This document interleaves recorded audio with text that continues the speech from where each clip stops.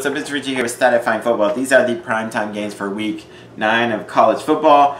Uh, still a big game though, Penn State, even though they were upset and lost to Illinois 20-18 and 9 overtimes, they're taking on Ohio State. Penn State, Sean Clifford 165 passing and a touchdown. Defensively had 4 sacks, 3 turnovers. Ji'Ayir Brown 13 tackles and a pass defense. Ellis Brooks 11 tackles, a half tackle for loss of pass defense. And Arnold Ebiketie 10 tackles, 1.5 sacks, and 2 tackles for loss. Ohio State did whatever they wanted against Indiana 54 7. CJ Stroud 266 passing, 4 touchdown passes, 539 total yards. Defensively, they had 5 sacks and a safety. This is Ohio State's by favored by 18 and a half. It seems like a lot against Penn State, but Penn State's been kind of inconsistent this year, and I think Ohio State's hitting their stride. They may be a national title contender. CJ Stroud, I think, should be right up there for the Heisman. I'm gonna go Ohio State, and maybe pretty big in that game.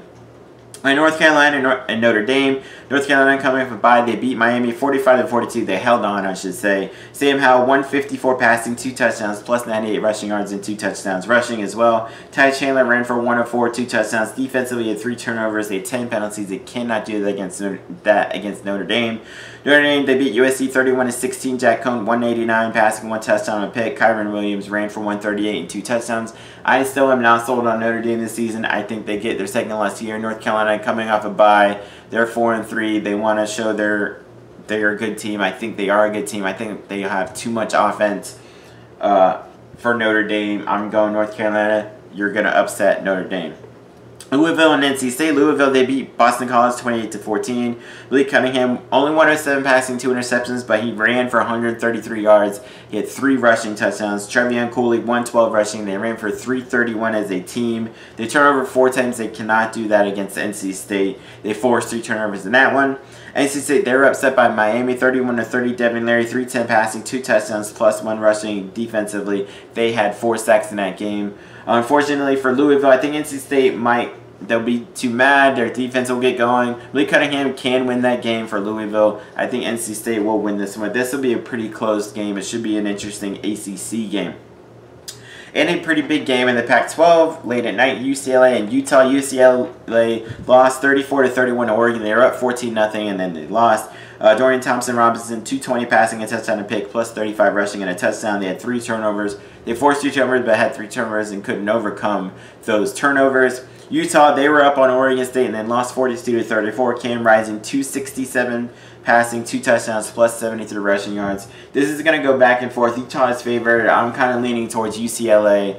Uh, I think I still think UCLA, Chip Kelly, Chip Kelly. I think they will be good.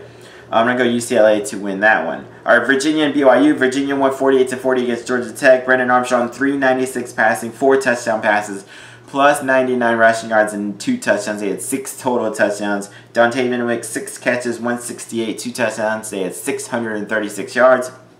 BYU barely beat Washington State 21 and 19. Tyler Allgeier was about all they had with 191 rushing and two touchdowns. BYU's favored by two and a half. I don't care if Virginia's going to BYU. I think BYU is way overrated. Uh, I think Virginia is should be rated. They're not ranked. They're six and two, one of the best offenses in the country. I think Virginia wins. I think they win big over BYU.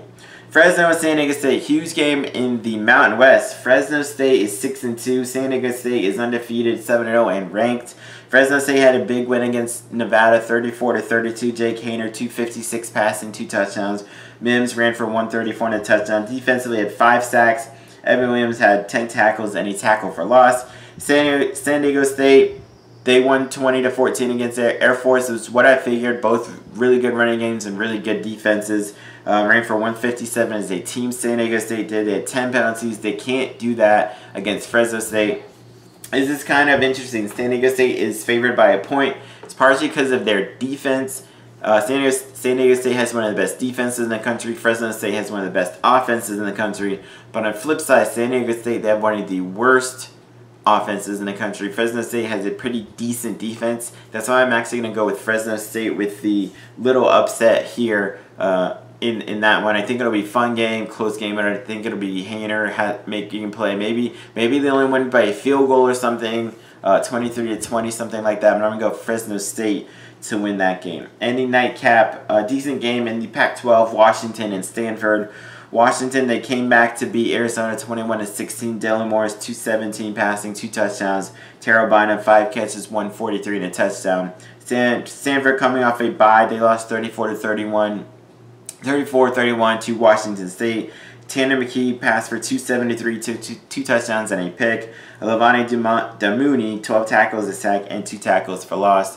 Uh, this is going to go right down to both defenses are pretty good, but I'm going to give the give the edge to Stanford. Actually, uh, their quarterback McKee has looked more consistent than Dylan Morris has. They can get their running game going, so I'm going to go Stanford to win a low-scoring game there. So those are my picks. So the primetime games. Check out all my other videos later. Peace.